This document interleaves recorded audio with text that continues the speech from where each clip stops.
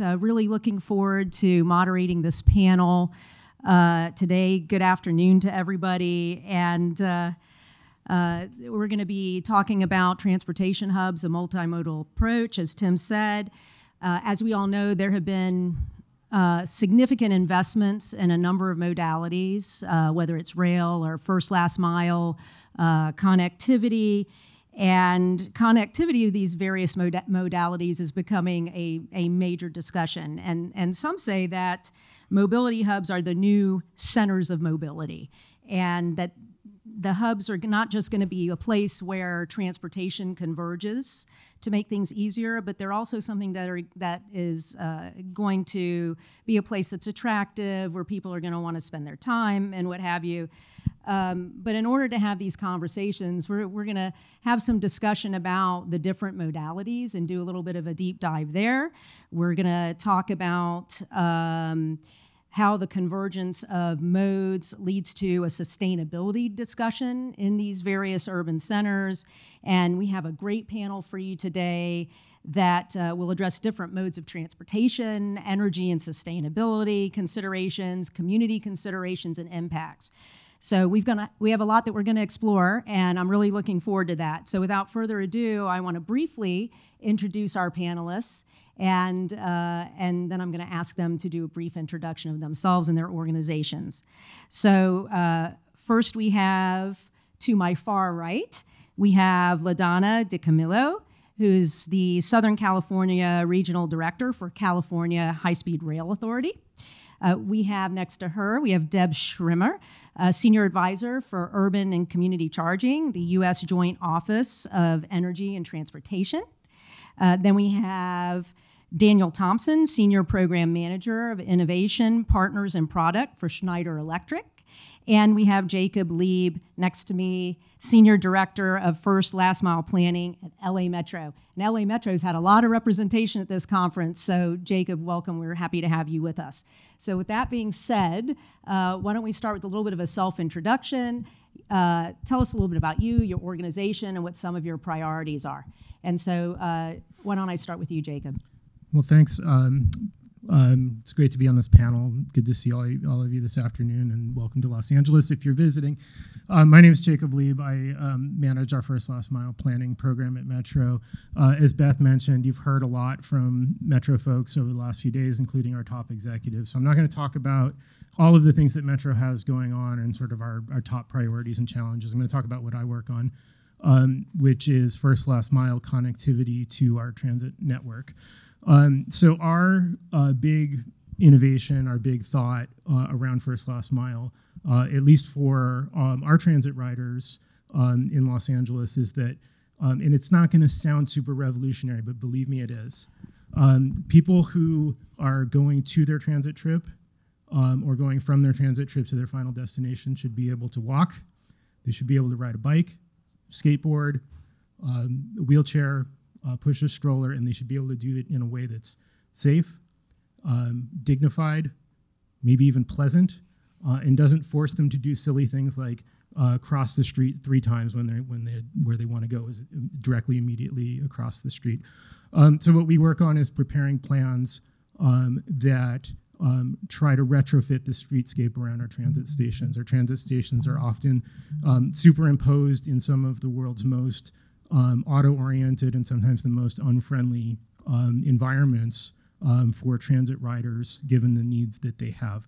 Um, so we have had a lot of success over the years um, developing these plans. There are now 60 of the stations that through the system that, that we operate uh, for which we've completed plans. And we work with local agencies, our partners who own and maintain and, uh, and operate the public right of way on, on capital projects to improve the infrastructure around our stations and to, to meet those goals that I talked about safe, dignified, connected um, networks for people to walk and ride a bike. Great. Thank you. Daniel, you're up next.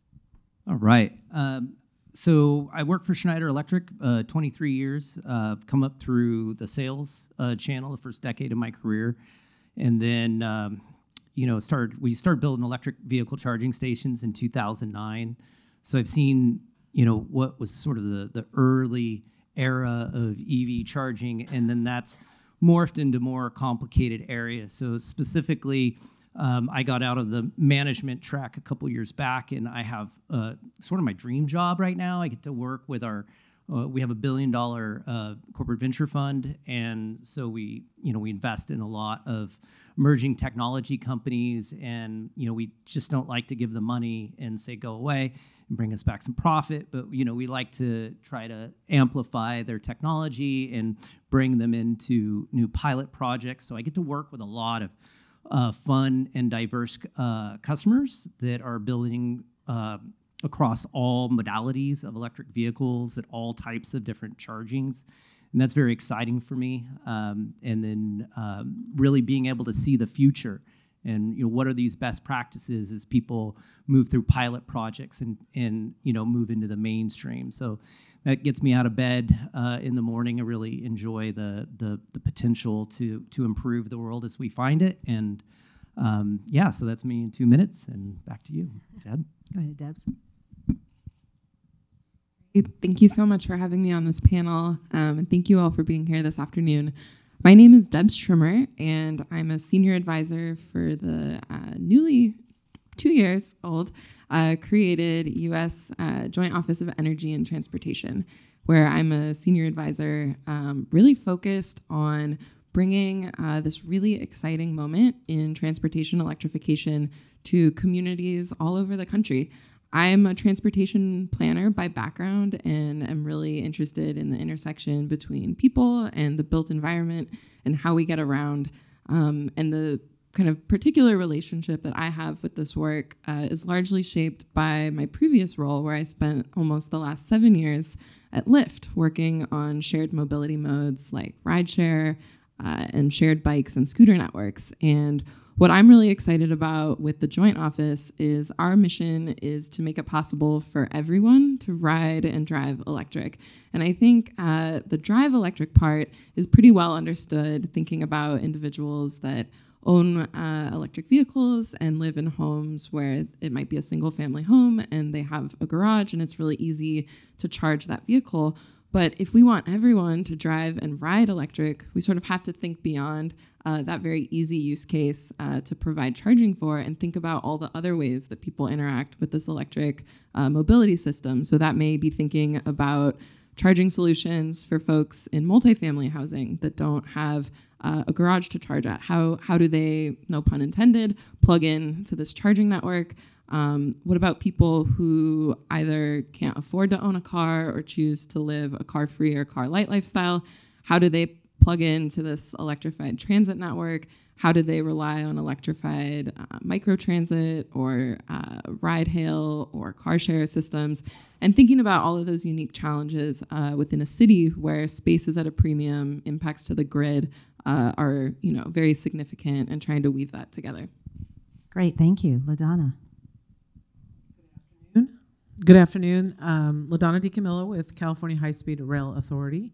Um, excited to be part of this panel. We're kind of the hub connector.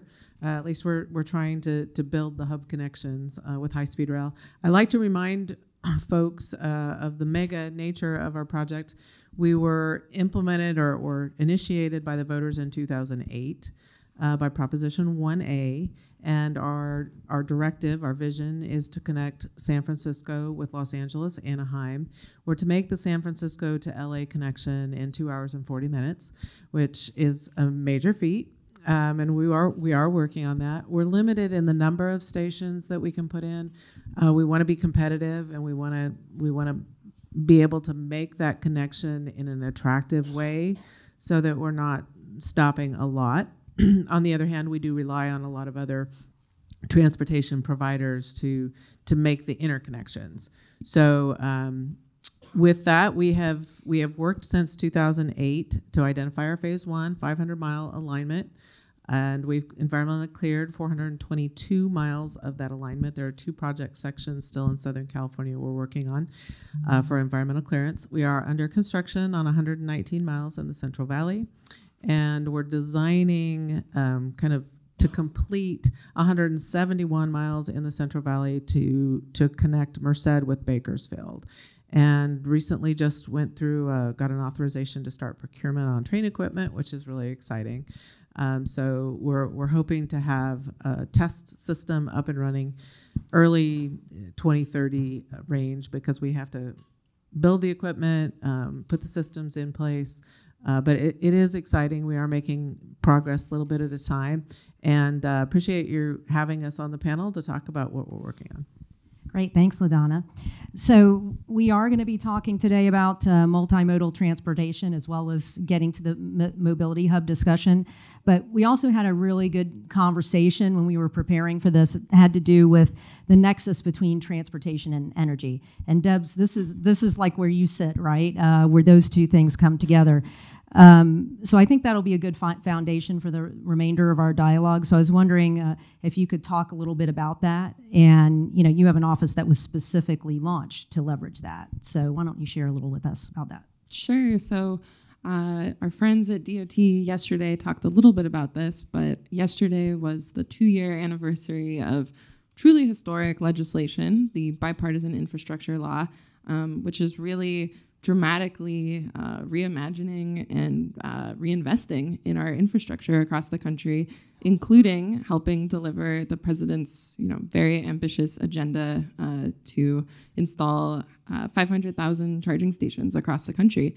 And so um, that is really, really big and bold. And the uh, understanding was that in order to make that possible, uh, this is not just a DOT transportation initiative, and this is not just a DOE uh, energy initiative. We really have to bring the best and brightest minds together to execute against this really important uh, goal, and that requires the transportation expertise of understanding traffic and the network and how things you know exist in the built environment but also from an energy perspective, you know, what sort of investments to the grid are going to be needed to power all of these uh, ch- chargers?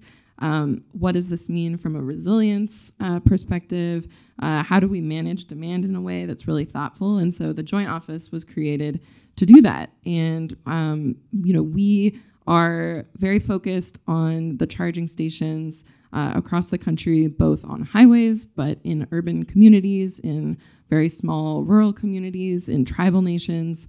And I think being able to help bring uh, both parties to the table across the energy and transportation sectors is is so important because oftentimes you know we're talking to uh, DOTs and they haven't necessarily uh, spoken with their utilities yet, uh, which is a huge piece of the puzzle. And so I think having this joint office that sits across um, both of those uh, industries just helps getting people uh, at the table talking and collaborating and more likely to achieve the outcomes that we're trying to pursue.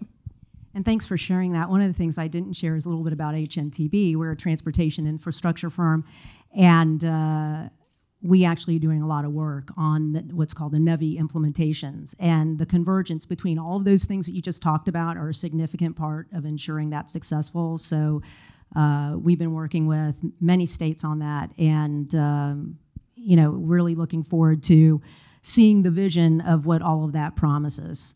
And uh, we were just talking before. I, am actually I I, uh, I live in Miami, even though I'm a national practice consultant.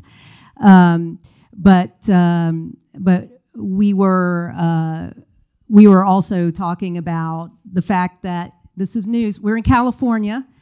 California is number one state in terms of electric vehicle adoption, but guess who's number two? Florida. That might surprise you all. So all of this discussion about you know how we address the infrastructure element along with all the other things that are going to draw on that infrastructure really important.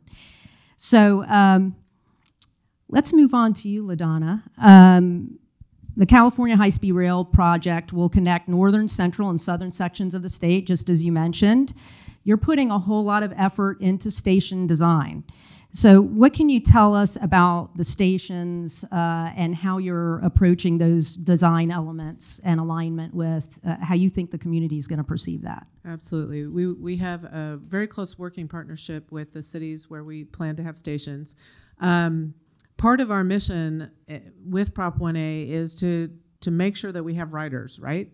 Um, you you want to make sure that there's riders and that there's an attractive um, transit oriented development at each of the station uh, where we where we plan to have stations, and we want to be more than just a platform. We don't want to just be a platform. So we do have a team that's working with the various cities. I shouldn't do this off the top of my head, but I'll try. San Francisco, San Jose, Merced, uh, Fresno, Kings Tulare. Um, down in my territory, you, you, get to Palmdale, Burbank, Los Angeles Union Station, and and, of course Anaheim.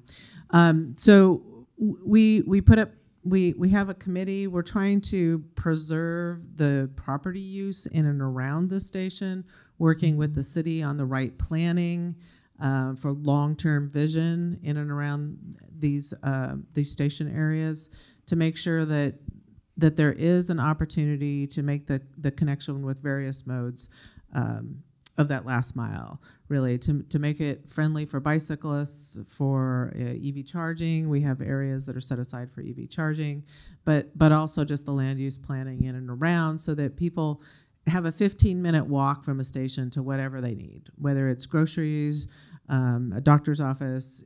We, we want that hub to be around our station. We want it to be a destination, a place where people can live.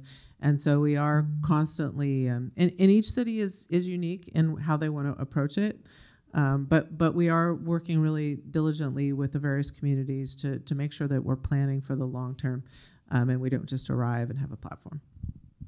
Great, thanks. Uh, I want to stay on electrification as it pertains to that just, just for a minute. And uh, Debs, I'm coming back to you, and don't worry, Daniel and Jacob, I'm coming to you next. Um, how should communities be thinking about electrification in terms of these multimodal hubs and charging in urban areas, you know, including like curbside charging, et cetera? How should folks be thinking about that?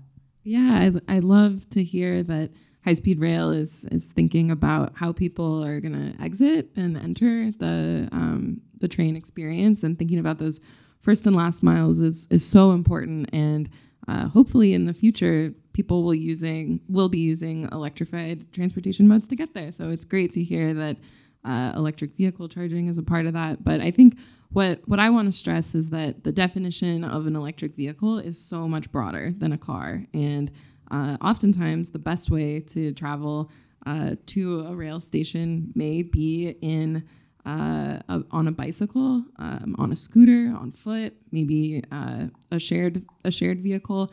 And so, I think when we think about uh, electrification at multimodal hubs, um, you know, at the Department of Transportation, they talk a lot about this idea of digging once. And as we're going to be spending these uh, $7.5 billion to build this electric vehicle charging station, we want to future proof it and get it right the first time. And so by digging once and thinking about multiple modes of transportation and how they connect uh, is really important. So when you're trenching, you know, making sure that the bike share station that's on uh, the you know the right of way at the train station, making sure that that also is able to get plugged in to recharge the e-bikes when people bike there. That's really important. Or the cars that people are taking and maybe leaving for extended periods of time. Uh, making sure that that multimodal approach is being translated into uh, these electrification efforts is just really important and helps give better returns on investment. Would anybody else like to weigh in on that? Uh, maybe uh, even Jacob in terms of LA Metro. You want to opine on on uh, what Deb's just said? Sure. Can you hear me? Am I on? Okay.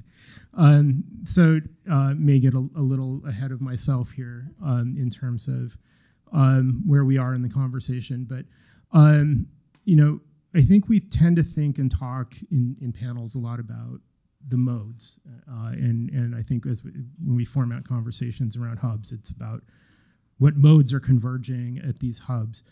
Um, when we um, talk to transit riders um, about what their needs are.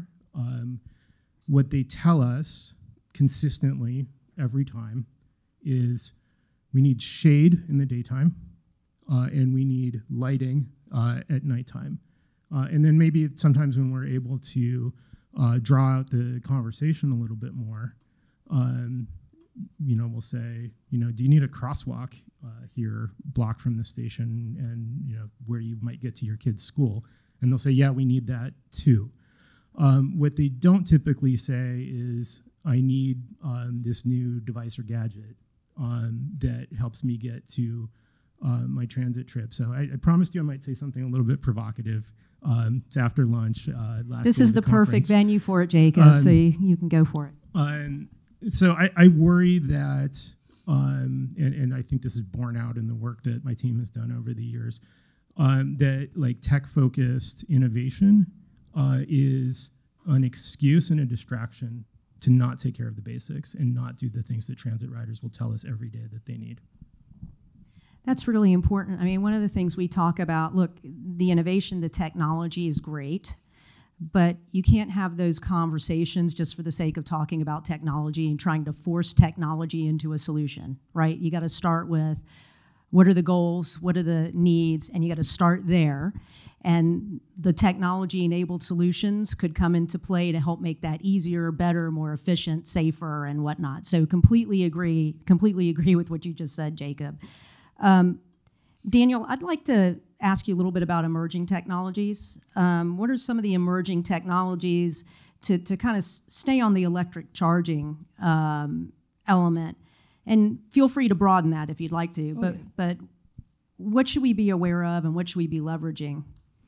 I think specifically when we when we think about high level trends and and just to piggyback on on Deb's comment and we, we have the convergence of of energy and transportation and and what we also have is the convergence of, of data and power in in the same in the same sort of uh, node. So um, one of the I, I, I work a, a lot. I sit on a board for the National Science Foundation Aspire Engineering Research Center, and our uh, goal is to make dynamic wireless power transfer a reality by 2030.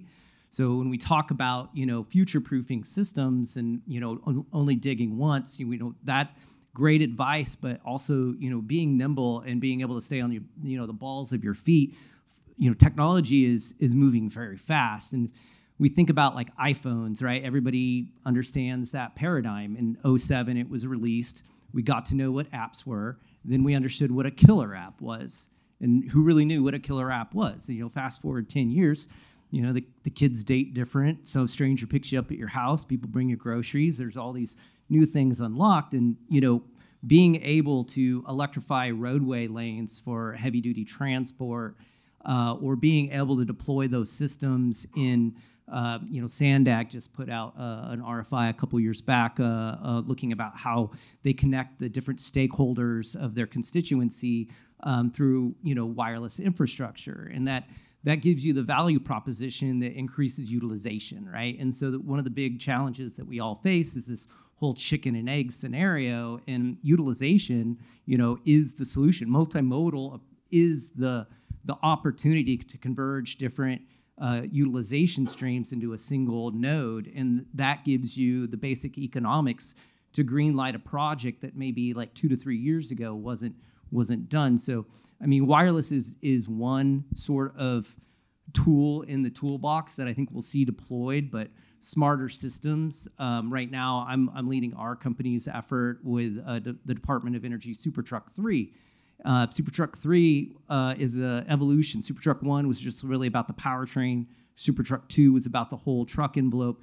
And Super Truck 3 is about the whole logistics system. So we have, you know, regional delivery, final mile, uh, long haul, all kind of converged into one private client ecosystem, interplant, all of that. So you know, when we think multimodal, I think, you know, a lot of us gravitate towards urban centers and, you know, public transportation, but multimodal is is a much more broad concept that applies even shared resources, right? If a, a company A and company B want to get together and increase utilization, they can they can look at that sort of partnering and, and through a, a, a larger lens. That's great. Would anybody else like to weigh in on that? I, I will add this because you mentioned Aspire, and when you're talking about wireless, you're including inductive charging uh, in that space. Yeah, inductive, capacitive. There's a lot of, of, of fun technologies. You know, we have to work out the interoperability and figure out you know which ones are are best for what types of applications. But yeah, it's a wide wide ranging dynamic, semi-dynamic, static, wireless charging. And you mentioned interoperability. I mean, this is one of the things that I learned with inductive charging. You can't just have it there and expect every vehicle, with any type of battery can actually interact with that. So it's really important interoperability. And when you mentioned Aspire um, in Florida, Central Florida Expressway Authority is partnered there as well and is planning on piloting uh, that technology as well. Oh yeah, and that's the thing. You know, uh, I remember just a couple years back going around to senior leaders in my company and trying to get people excited about it. And I, one leader said, "You know, I, I don't know if I've ever seen a truck out there that's wireless or a highway, but you know, there are pilot programs like the Central Ex- uh, Florida Expressway. It's like two miles of electrified proof of concept. Uh, you know, Pennsylvania Turnpike, Ohio Turnpike."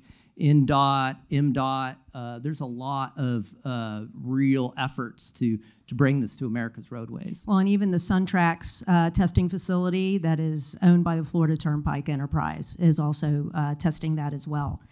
Um, so it's very interesting what's happening, and I'll be curious to see how that all plays out because it, it doesn't usually play out the way you originally envision it, right? And we have a number of pivots along the way. Uh, I want to talk about this a little bit differently for a moment. And I want to talk about the concept of sustainability, one of the things that has really driven these various approaches and whatnot, and just kind of get your um, your thoughts in terms of your organization's approach to sustainability. How does all of this fit in relative to your commitment and whatnot?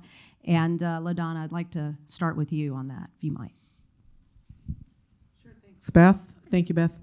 Um, we have a sustainability program uh, and a sustainability officer. It is not me, sorry. I'm not the expert, but I've done as much as I can to absorb uh, what that team is doing. And a lot of times people start with sustainability as your emissions output and, and your energy use. That is one factor of sustainability. Uh, but we just put out our sustainability report uh, this this month, and it, it covers a wide range of other things. So I want to talk a little bit about really quickly about some different factors that we include in our sustainability approach. Of course, we are high speed rail, 100% electric. We are committed to renewable energy. Um, and we have a team that's that's looking to make sure that we can get those those renewable, reliable, renewable energies sources to where we need them when we need them. So that that is a bit of a major feat as well. During our construction, we're constantly looking for ways to reduce emissions uh, using the best technology available for our construction teams. Um, as part of that, we actually have a, a natural resources conservation program where we try to recycle our construction materials. And so we're constantly looking at ways to recycle um, what's coming from our construction sites. We have, um, so that we don't utilize landfills, of course, we have a preservation program as part of our, our natural resources uh, commitment.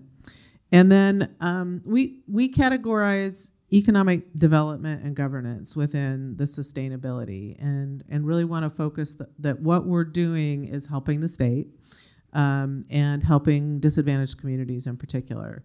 So our, our alignment touches disadvantaged communities, also benefits disadvantaged communities. And we are constantly working with um, our, our trades, our construction trades, to make that connection to those who reside in the community. We have about a 65% local um, hire, so that 65% of our workers on our program are coming from those local disadvantaged communities. And then we have a very aggressive small business engagement program too that we're constantly trying to to um, engage small businesses, and we consider that all part of sustainability. That sustainability um, within our community, working with the community to make sure that that they are engaged in what we're doing um, as as we move forward.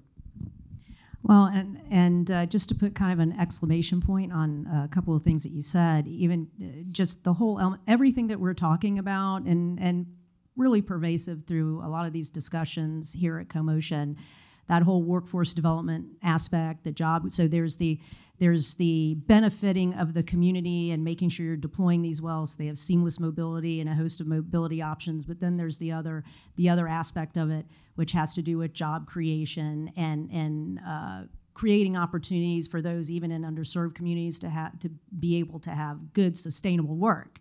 And, and it's great to see that that's something that you're you're looking at.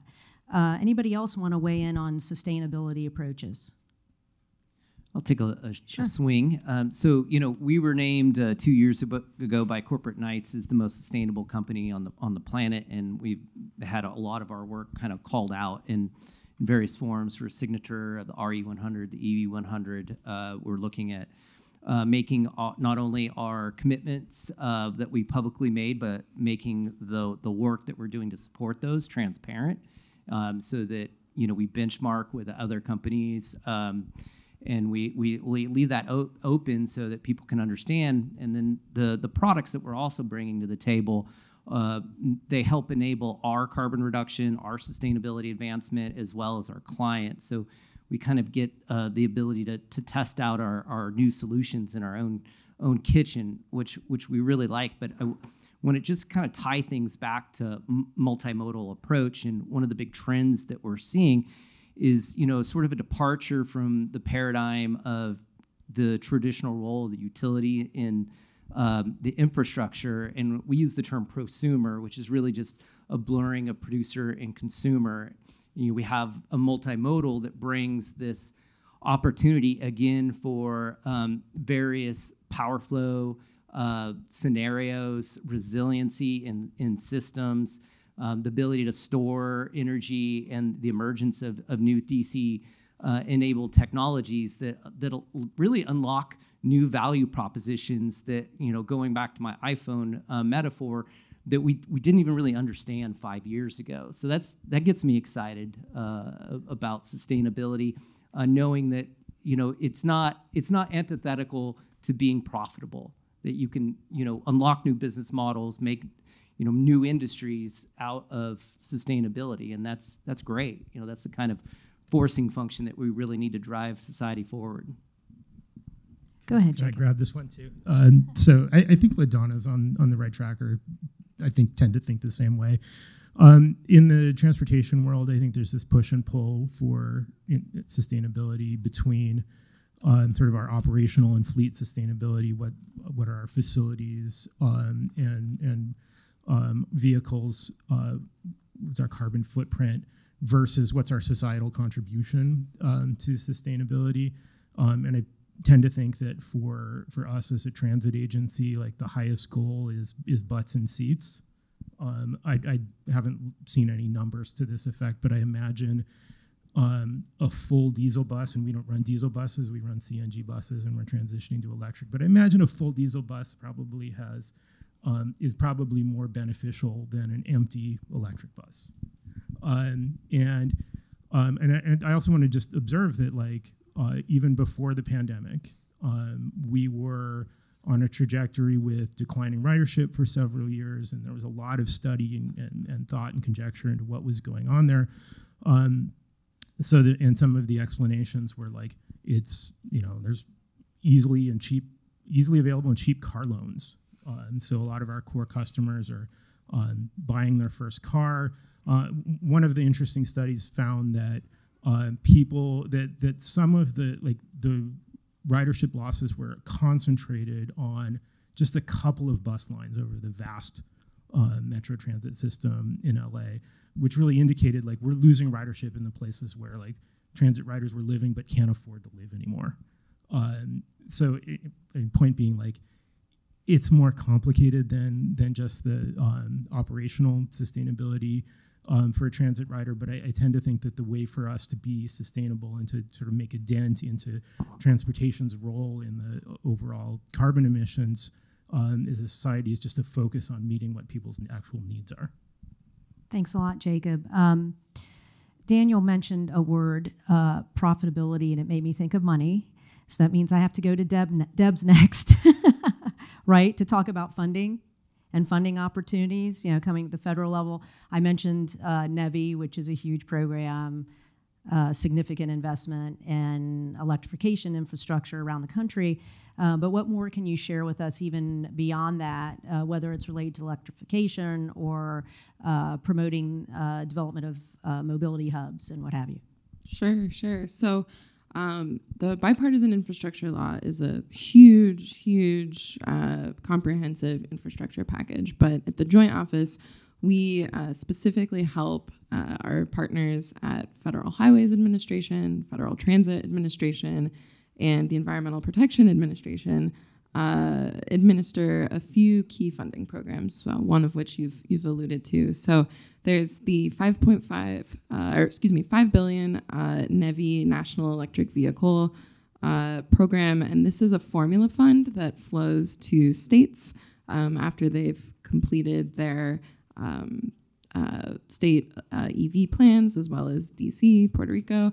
Um, but this is formula funds so that's really focused on building out these electric vehicle um, alternative fuel corridors and making sure that there's a very um, reliable, um, available charging network when you go on that big road trip um, every 50 miles or so. Um, thinking more locally within communities and filling gaps in that network is where the CFI charging fueling infrastructure program fits in. And this is a $2.5 billion program, um, and it's a competitive program, it's a discretionary program. And so lots of public agencies are eligible uh, to apply to that. And I think mobility hubs is really where that fits in. Um, that's like right in the community. You can bring in these multiple modes, as we talked about with the dig once uh, philosophy. Uh, but then we also, you know, work with the EPA. They adman- they administer the Clean School Bus program, um, which is a really important way to think about uh, how are we extending clean transportation options to children getting to school, um, as well as the low no emission program at FTA. And I think also through that, well, the low no program is really focused on clean bus replacement. Um, that coordination um, of charging those buses and co-location uh, is where multimodal hubs can fit into that as well.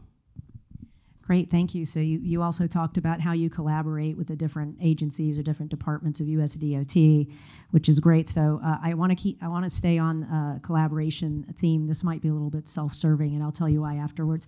So um, LaDonna, rail is a big focus in, in California, particularly in Southern California, with the promise of Brightline, right? Connecting Southern California with Las Vegas. Um, are you collaborating with them in any way? We we do work with Brightline, so let's talk about what Brightline is. Brightline is a private sector high speed rail provider. Um, so we are public sector and we have a certain mission and we're over 200 miles per hour. Brightline private sector has a, a different approach. I had 30 years with the private sector, so I know how they that thinks. And, um, and Brightline's making great progress from what I understand. Um, and we do talk to them a lot about interoperability of our equipment. Uh, right now, their focus is on um, connecting to Las Vegas, which is great for those of us in Southern California who have to use the White Knuckle Freeway to get there. Um, so they're gonna they're gonna they're proposing to connect Rancho Cucamonga, which is right around Ontario Airport, uh, with Las Vegas. At one time, they had looked at um, the the east-west connection, high desert corridor between Victorville and Palmdale.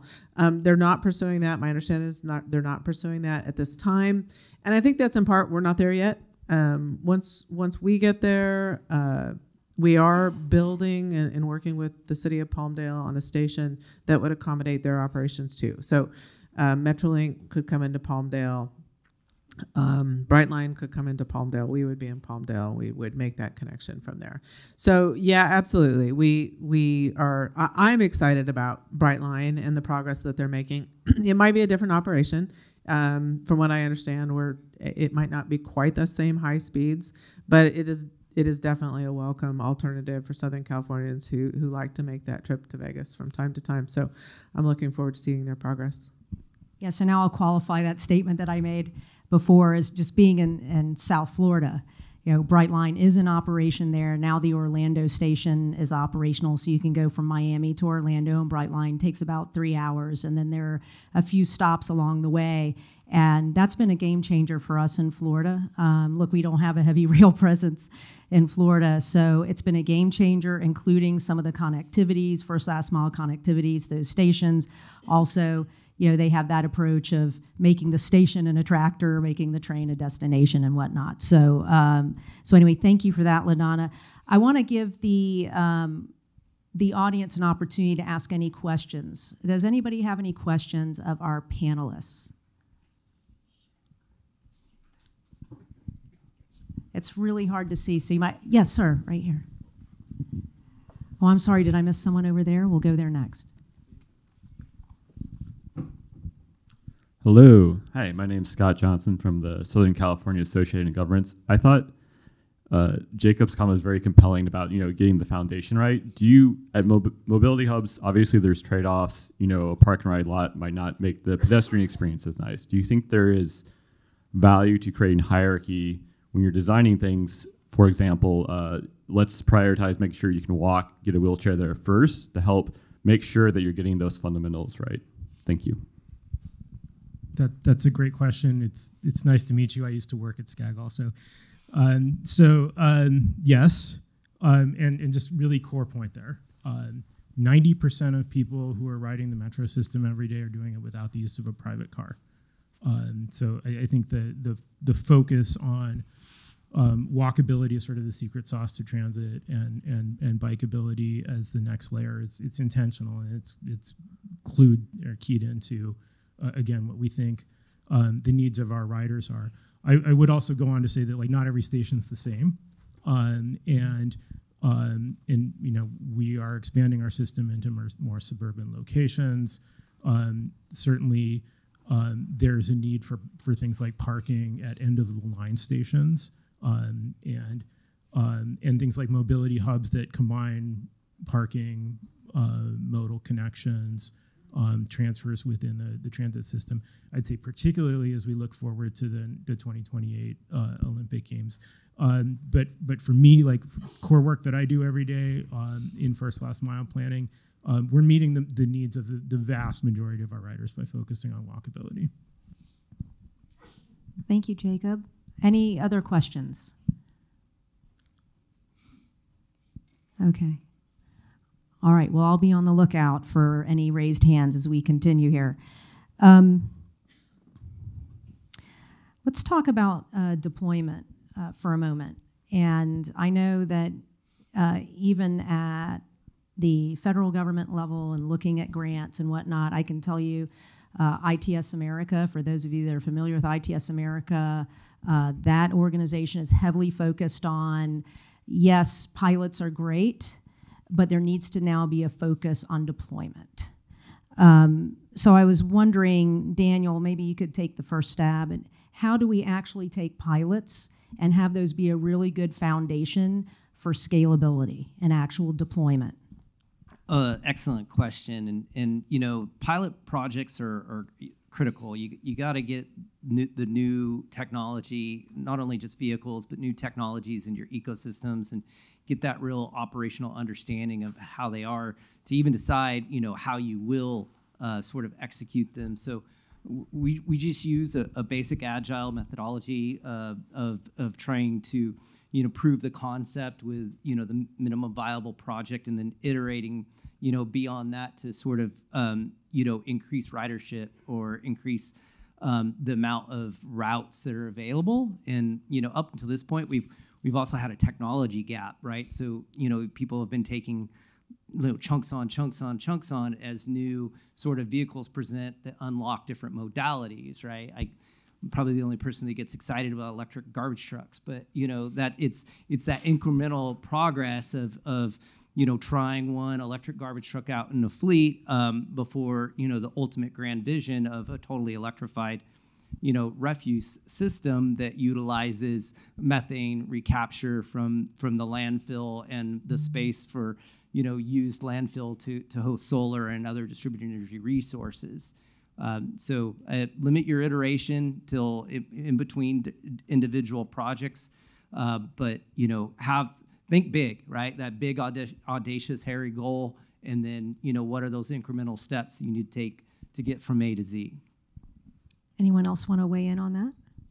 Yeah, I I think there's a role for both pilots and deployment. And, you know, at the Joint Office, we are very singularly focused on, you know, getting to that 500,000 uh, charging stations, which which is deployment. But there are so many uh, unanswered questions in this space right now. Like we are both like building the plane and flying it at the same time, trying to understand grid impacts, trying to understand, you know, how do how do these charging companies make money? Like do these business models work? And if we really want uh, this to be an equitable transportation system that everyone can benefit from. Like, you know, how do we make it work in dense urban areas? How do we make it in more suburban, rural communities?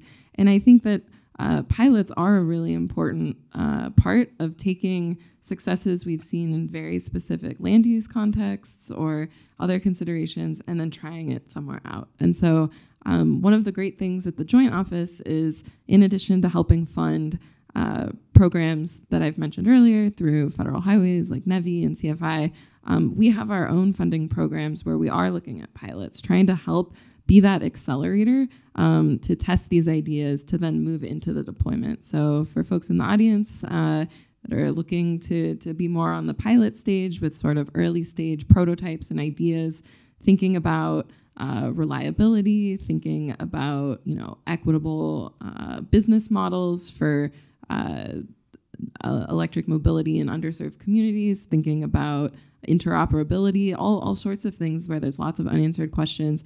Um, check out our funding opportunities. Uh, we have the Ride and Drive Electric uh, program, and you know there may be funding opportunities in the future to look at that. But I think um, it it really needs to be a both and approach here because there's just so many things happening and so many unanswered questions that we can't just uh, deploy without knowing uh, with confidence that uh, we're making good bets that these things will scale, that these things will work, or, or that you know uh, that they'll be sustainable and still work five years from now.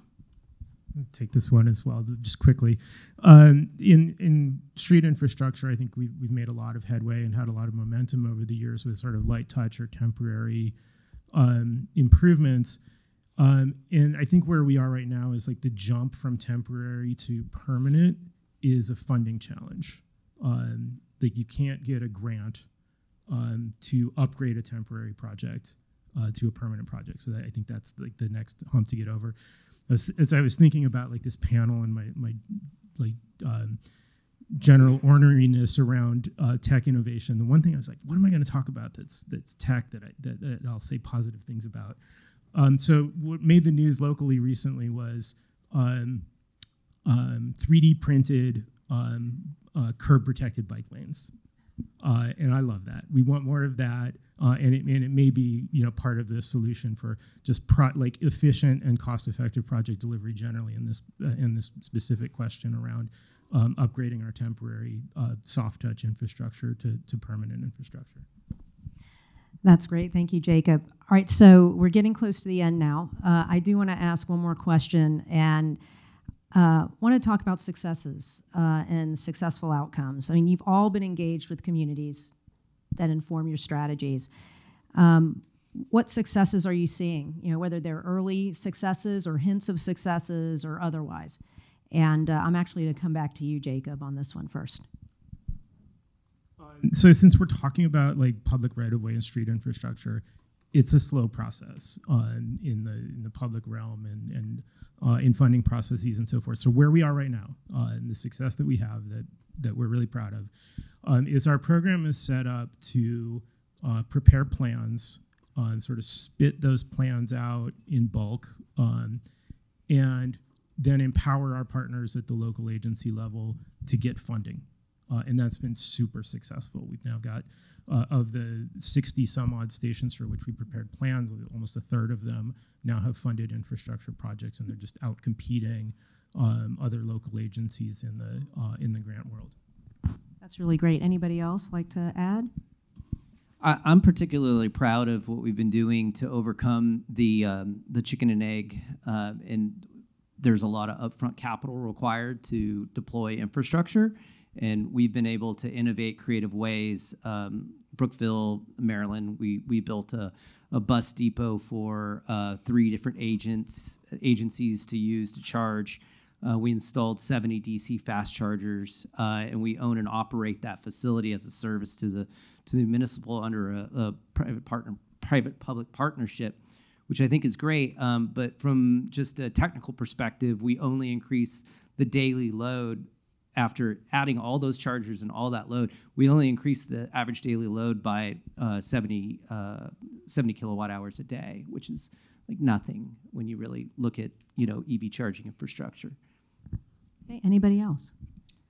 So it's a little early um, for us to talk about successes um, of the projects that we hope to fund through NEVI and CFI. Um, the, that money is just starting to flow, but I think kind of taking a step back, um, what I see as a success is this um, like real buy-in around electrification and and this like uh, commitment uh, across the country. Um, it was a really big deal for us to see all 50 states submit a state NEVI plan, which really speaks to uh, just the true diversity across the country of communities of different shapes and sizes wanting to be a part of this and, and help build uh, this you know next milestone in our uh, country's transportation network. So I'm I'm excited and see that as a success because I think it's really hard to get everyone in the country to agree on anything. So seeing all of those state plans come in and see that commitment towards electrification uh,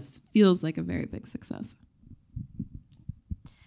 Go ahead. Linda. I'll take a different spin on it because we're high speed rail and we're more at a macro level of those interconnections. And I've been with the authority for three years. I see as a, success us being able to advance our environmental clearances. I know that that there were some struggles with the organization. We were very small, relying on a little, probably too much on consultants. Uh, but we have made tremendous progress in the last uh, three or four years. Uh, two environmental documents in Northern California have been, have been approved. Uh, two in Southern California since I've been with the authority. People say, well, well you know, why does it take so long? I, I, can argue that the environmental process makes the project better, and I'm excited to be a part of it and, and interacting with the community. You've you've got to find that balance of advancing the project and and you can't be everything to everybody. so so I'm excited about the successes, and I want to touch just really briefly on the the remaining project section. Uh, between Palmdale and Burbank, and the reason it's last is it's our engineeringly worst, uh, biggest feat um, because it's going to require 28 miles of tunneling. But it's also the biggest game changer because we can connect Southern California with the Antelope Valley in in a 12 minute trip where it could take an hour and a half to two hours. And so that's what gets me motivated each day and excited. And um, I, I look forward to showing Californians that we can be successful at high speed rail and get our environmental work done, our construction done, and uh, provide high speed rail for Californians. That's great, LaDonna. Thank you. So uh, we're out of time, but I want to do one quick lightning round thing. Sound bites, please. Is there anything that you want to put an exclamation point on that we talked about today, or even if we haven't talked about it, that you want to make sure that our audience here walks away with?